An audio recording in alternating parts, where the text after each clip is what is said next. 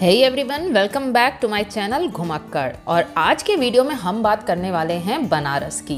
भाई, बनारस एक ऐसा शहर है जिसके बारे में आप जितना जानते हैं, उतना ही और ज़्यादा जानने का मन करने लगता है। इस जगह को अलग अलग नामों से जाना जाता है। कोई इसे वाराणसी कहता है तो कोई इसे काशी कहता है तो कोई इसे बनारस कहता है। भाई, आप किसी भी नाम से इसे बुलाइए, इसका महत्व उतना ही रहने वाला है। क्या आप जानते हैं कि बनारस को सिटी ऑफ़ गोल्डन घाट्स भी कहा जाता है? और गोल्डन घाट्स इसलिए कहा जाता है कि जब यहाँ के घाटों पर सूरज की रोशनी पड़ती है तो ये देखने में एकदम गोल्डन गोल्डन लगते हैं। यानी सारे के सारे घाट एक से ही लगते हैं देखने में। बहुत ही सुंदर, बहुत ही अनोखे लगते हैं। वैसे तो वाराणसी में कुल मिला के चौरासी घाट हैं और सभी घाट अपने आप में अनोखे हैं। लेकिन इनमें से कुछ एक घाट बहुत ज़्यादा फ़ेमस हैं। और ऐसा ही एक घाट है मणिकर्णिका। मणिकर्णिका एक ऐसा घाट है जिसके बारे में जानने के लिए यहाँ दूर दूर से लोग आते हैं। ये रहस्यों से भरा हुआ घाट है, किसी के लिए बहुत ही ज़्यादा स्पिरिचुअल घाट है, किसी के लिए सिर्फ़ देखने के लिए है, किसी के लिए हो सकता है थोड़ा डरावना भी है। और मैं आपको एक बात बताती हूँ कि जब मैं बनारस जा रही थी तो मुझे भाई दो चीज़ों का सबसे ज़्यादा क्रेज़ था। एक तो ऑब्वियसली आपको काशी विश्वनाथ जी के दर्शन करने थे, भोलेनाथ के वहाँ पे दर्शन करने थे और दूसरा था मणिकर्णिका घाट। यकीन मानिए, जितना खिंचाव काशी विश्वनाथ के दर्शन में है, उतना ही खिंचाव इस मणिकर्णिका घाट में भी है। मणिकर्णिका घाट अपने आप में बहुत सारे रहस्य बटोरे हुए हैं। तो इन रहस्यों के बारे में हम बात करेंगे, लेकिन उससे पहले हम ये जानते हैं कि आखिर इसे मणिकर्णिका घाट क्यों कहा जाता है। और ये जो घाट आपको दिखाई दे रहा है अपनी स्क्रीन पर, यही है वो मणिकर्णिका घाट। और इसके पास ही बना हुआ है मणिकर्णिका कुंड, और उसी कुंड के नाम पर इस घाट का नाम भी मणिकर्णिका पड़ा। और ये रहा मणिकर्णिका कुंड, जिसे मणिकर्णिका चक्र पुष्करणी तीर्थ भी कहते हैं। ये कुंड साधारण कुंड नहीं है। ऐसा माना जाता है कि धरती पर जब गंगा अवतरण हुआ था, उससे पहले से ये कुंड यहाँ पर मौजूद है। कहा जाता है कि विष्णु भगवान ने यहाँ अस्सी हज़ार सालों तक शिव जी को प्रसन्न करने के लिए तपस्या की थी और उन्होंने ही अपने सुदर्शन चक्र से इस कुंड का निर्माण किया था। और भगवान विष्णु की तपस्या से प्रसन्न होकर जब भगवान शिव और माता पार्वती यहाँ आए थे स्नान के लिए तो स्नान करते वक्त माता पार्वती का जो कुंडल था, वो इस कुंड में गिर गया था, जिसकी वजह से इस कुंड का नाम मणिकर्णिका कुंड पड़ा।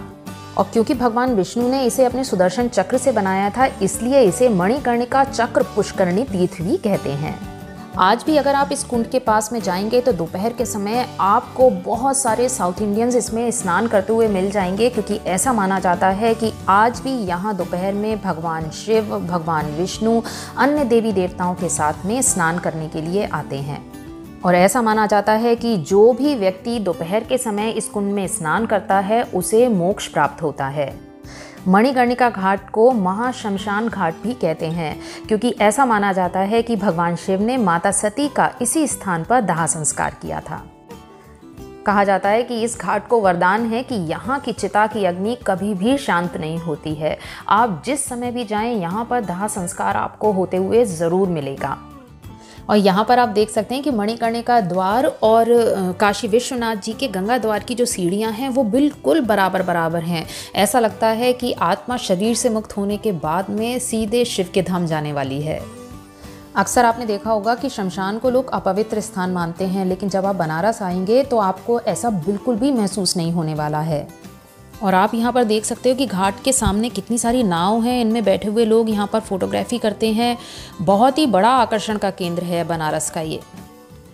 और मैं बनारस में तीन दिन रही थी और तीन दिन में से मैं दो दिन मणिकर्णिका घाट गई थी। मतलब मुझे ये जगह पता नहीं क्यों, बहुत ही ज़्यादा अमेजिंग लगी थी। तो मणिकर्णिका तक पहुँचने के लिए दो रास्ते हैं। आप चाहें तो गंगा द्वार से होते हुए भी मणिकर्णिका घाट जा सकते हैं, या फिर आप ज्ञानवापी चौक से मणिकर्णिका की जो गली है, उससे भी जा सकते हैं। तो यहाँ पर मैं आपको दोनों ही रास्ते दिखाऊँगी। और अगर आप ज्ञानवापी चौक से मणिकर्णिका गली तक जाते हैं तो बहुत ही सकरी गली है और बहुत ही पतला रास्ता है मणिकर्णिका घाट तक आने के लिए। इस गली को देखकर आप महसूस कर सकते हैं कि ये कितनी ज़्यादा सक्रिय है। और इसी गली में से लोग शव को लेकर जाते हैं मणिकर्णिका घाट तक। और इस गली में आप देख सकते हैं खाने पीने की चीज़ें भी बिक रही हैं, आराम से बिक रही हैं, लोगों को कोई ऑब्जेक्शन नहीं है। क्योंकि, और आपसे मैं ये कहूँ कि यहाँ पर एक या दो, यहाँ पर दिन भर में कम से कम 200 से 300 शव जाते ही जाते हैं। और ये जो दीवार पे आप पेंटिंग देख रहे हैं, ये बनारस में आपको जगह जगह मिल जाएगी। और देखिए गली में जगह जगह इंडिकेशन है मणिकर्णिका घाट तक जाने के लिए।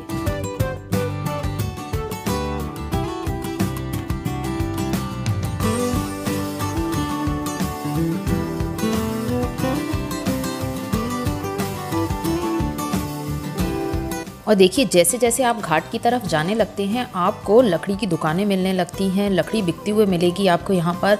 और साथ ही दाह संस्कार में इस्तेमाल होने वाली जितनी भी चीज़ें हैं, उनसे रिलेटेड यहाँ पर आपको दुकानें देखने को मिलेंगी।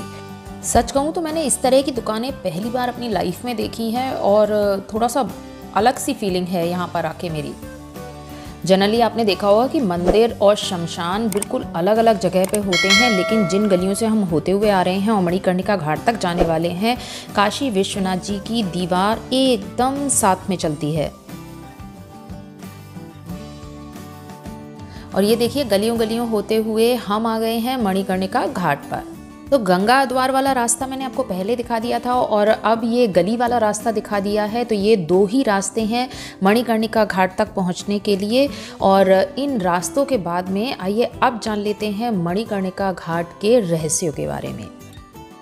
मणिकर्णिका घाट दुनिया का एकमात्र ऐसा स्थान है जहाँ मनुष्य की मृत्यु को मंगल माना जाता है। और आप देख सकते हैं कि बहुत सारे लोग आराम से यहाँ पर घूम रहे हैं, जो टूरिस्ट हैं वो भी यहाँ पर आते हैं।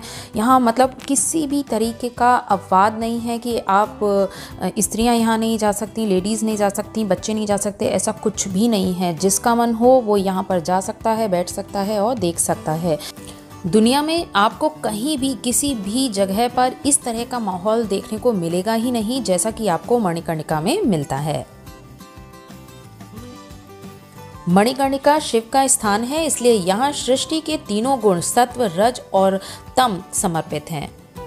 और इसी वजह से इस स्थान को पवित्र माना जाता है। और ऐसा माना जाता है कि जो लोग कार्तिक शुक्ल की चतुर्दशी अर्थात बैकुंठ चतुर्दशी को और बैशाख के महीने में यहाँ पर स्नान करते हैं, उन्हें अपने पापों से मुक्ति मिलती है। ऐसा माना जाता है कि यहाँ मरने वाले लोगों के कानों में भगवान शिव स्वयं तारक मंत्र देते हैं। और इसी तारक मंत्र की वजह से उन्हें मोक्ष मिलता है, यानी वो जन्म और मृत्यु के चक्र से छूट जाते हैं। और यही वजह है कि बहुत सारे लोग बहुत दूर दूर से मणिकर्णिका घाट पर अपने प्रियजनों को दाह संस्कार के लिए लाते हैं।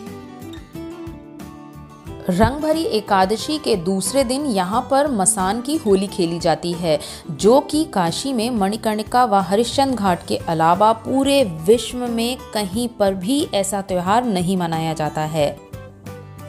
होली को लेकर काशी के जो लोग हैं, उनमें बहुत ही ज़्यादा एक्साइटमेंट होता है और यहाँ के लोग रंग भरी एकादशी का इंतज़ार करते हैं। और मैं आपको बताऊँ कि इसी दिन से यहाँ पर होली का हुड़दंग शुरू हो जाता है और ऐसा माना जाता है कि महादेव गौरा का गौना कराकर इसी दिन काशी की गलियों में घूमे थे। और इसके अगले दिन यहाँ पर चिता की भस्म से होली खेली जाती है और इसे ही मसान की होली कहते हैं। ये कोई छोटा मोटा या त्यौहार नहीं है यहाँ के लोगों के लिए। ये बहुत ही ज़्यादा यहाँ के लोग एक्साइटेड रहते हैं। साथ ही ये मसान की होली पूरी दुनिया के लिए बहुत बड़ा आकर्षण का केंद्र है। यहाँ दूर दूर से लोग इसे देखने आते हैं और इस होली को खेलने आते हैं। और कहा जाता है कि जो लोग भी इस होली को खेलते हैं, उनको जो आनंद मिलता है, उसका वर्णन शब्दों में करना बेहद मुश्किल है। और ऐसा ही एक उत्सव है शमशान नाथ का उत्सव। और यह उत्सव मनाया जाता है नवरात्रि के सप्तमी के दिन। और इस दिन नगर वधुएँ यानी प्रोस्टिट्यूट्स मणिकर्णिका घाट पर नृत्य करती हैं और शिव से प्रार्थना करती हैं कि उन्हें आने वाले किसी भी जन्म में नगर वधु वापस से ना बनना पड़े। और इस उत्सव का आरंभ राजा मान सिंह के आग्रह पर हुआ था और उसी समय से यह उत्सव यहाँ पर होता आ रहा है। गरुण पुराण के अनुसार सूर्यास्त के बाद श्रद्धा नहीं होता है, लेकिन भगवान शिव से जुड़े होने के कारण इसे महाशमशान कहा जाता है और यहाँ पर 24 घंटे, यानी दिन रात अंतिम संस्कार की अनुमति है। तो देखा आपने कितने सारे रहस्यों को समेटे हुए है ये मणिकर्णिका घाट। तो यहाँ पर तो मैंने आपको दिन के समय दिखाया कि मणिकर्णिका घाट देखने में कैसा लगता है, और अब मैं आपको दिखाती हूँ कि रात के वक्त मणिकर्णिका घाट किस तरह का लगता है। और ये रहा मणिकर्णिका घाट। रात के समय में आप देख सकते हैं कि यहाँ पर अभी भी कितने सारे शब्दात हो रहे हैं। और दिन हो या रात, यहाँ पर टूरिस्ट का तांता लगा रहता है। लोग यहाँ पर दूर दूर से इस शमशान को, इस मणिकर्णिका घाट को देखने आते हैं। तो मणिकर्णिका घाट से जुड़ी हुई जानकारी आपको कैसी लगी, मुझे कमेंट सेक्शन में लिख के ज़रूर बताएँ। और अगर आपको आज की वीडियो अच्छी लगी हो तो प्लीज़ इसे लाइक करें, साथ ही चैनल को सब्सक्राइब करना ना भूलें।